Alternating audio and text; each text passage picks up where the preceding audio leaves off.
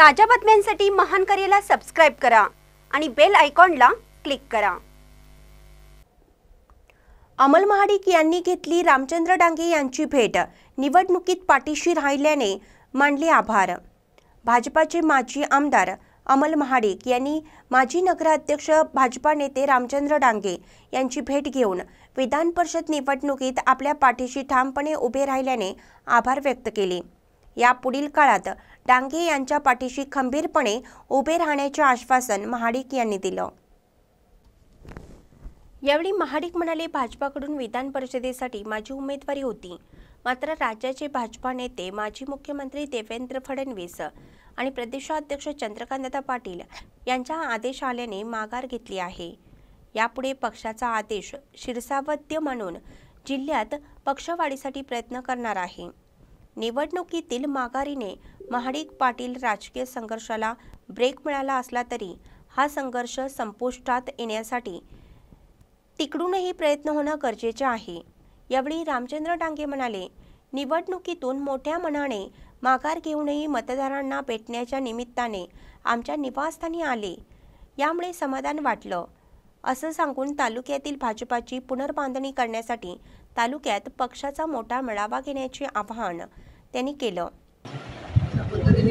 जो निर्णय वरिष्ठ ठरवते तो मान्य करायचा आम्ही आम्ही या पार्टीबरोबर प्रामाणिकपणे येणारी पुढची वाटचाल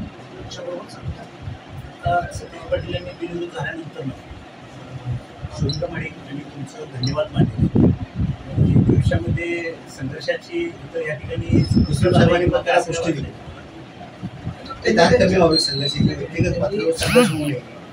व्यक्तिगत पातळीवर संघर्ष होऊ नये तर याच्यामध्ये सगळ्यात महत्त्वाचा विषय असा आहे ते प्रमुख लोक आहेत.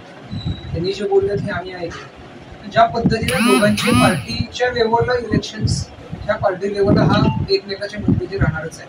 व्यक्तीच्या लेवलवरती आम्ही आणि त्यांनी हा काय करायचा हा विषय तो तो त्या त्या त्यांनी ठरवायचा. राजकीय मतभेद राहणार.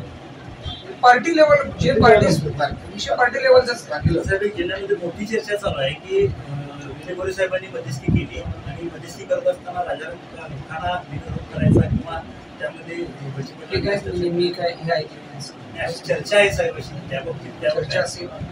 ज्याची त्याची विचार त्या त्या वेळची वेगवेगळ्या त्या पद्धतीने होणार. हा जिल्ह्यामध्ये तशी चर्चा सुरू आहे. राजाराम तो सोडून घेतले वगैरे वगैरे असं मी ह्याच्याबद्दल मी योग बोलणं योग्य नाही. कारण हे मी काय ऐकलेलं नाही आणि या चर्चा आमच्याही कानावर माननीय आदरणीय चंद्रकांत दादा पाटील आमचे नेते आणि आदरणीय विरोधी पक्षनेते देवेंद्र फडणवीस.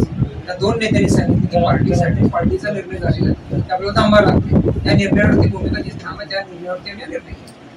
साहेब शिरूर तालुक्याचे भाजपाचे नेते निरव हे काँग्रेसच्या व्यासपीठावर होते परत काल या ठिकाणी त्यांनी शिरूर तालुक्यामध्ये जल्लोषही साजरा केला.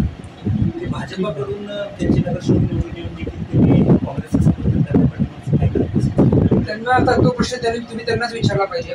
भारतीय जनता पार्टी नाही. भारतीय जनता पार्टी आजपर्यंत त्यांना कधी कुठल्या पद्धतीने कधी पडलेली नाही. कुठल्याही कार्यकर्त्यांच्या पाठीमागे त्यांनी पार्टीनं कधी कमतरता दाखवली नाही किंवा कधी अशी वेगळी भावना पण दाखवली नाही. तो त्यांचा वैयक्तिक विषय असेल त्या तो प्रश्न तुम्ही त्यांना विचारा. पक्षानं तुमचं काय पुनर्वसन करतो असं काय शब्द दिलाय? मी पार्टीचा एक सच्चा कार्यकर्ता आहे. मी कुठल्याही पार्टीचं काम करत असताना स्वार्थासाठी मी काम करत नाही. आणि येणारा काळजी करणार नाही. यावेळी जिल्हा परिषद सदस्य राजवर्धन नाईक निंबाळकर नगरसेवक अनुप मदाळे भाजपा पक्षप्रदोत उदय डांगे आझम गोलंदाज सीताराम भोसले उमेश कर्नाळे चांद कुरणे रणजित डांगे आदी उपस्थित होते. महानकरी न्यूजसाठी कुरुंदवाडहून इजाज खान पठाण.